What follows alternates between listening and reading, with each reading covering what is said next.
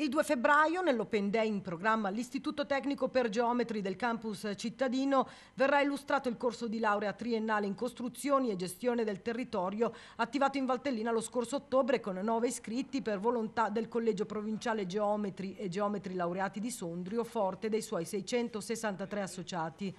Un'occasione da non perdere rivolta a giovani e alle loro famiglie per conoscere meglio il percorso formativo rivolto ai nostri ragazzi che non dovranno più stare lontani da casa per conseguire la laurea triennale. Un orgoglio da parte nostra aver portato l'università in, in, provincia e a servizio dei nostri cittadini in modo tale che senza andare a Lecco, Como cioè, o a Milano a seguire un corso di laurea possono tranquillamente farlo da Sondrio eh, attraverso le nuove tecnologie di, di rete streaming eh, con, eh, con le università direttamente con loro. Tant'è vero che il 2 febbraio faremo questa giornata, questo Open Day, proprio per far vedere eh, come, come, si sviluppa questo, questo, questo rapporto con l'università.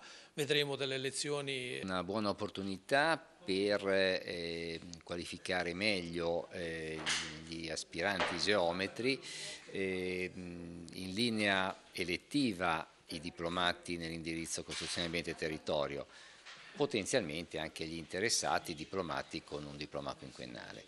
E... Si avvertiva la necessità di un corso di laurea di questo tipo?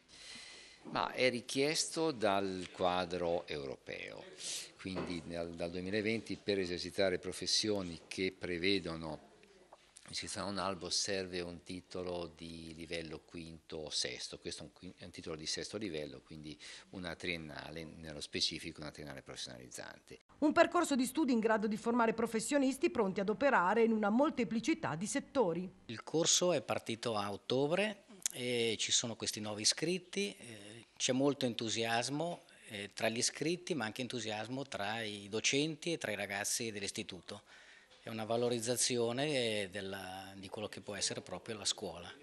Al termine del conseguimento della laurea triennale quale tipo di professione si può esercitare nel dettaglio?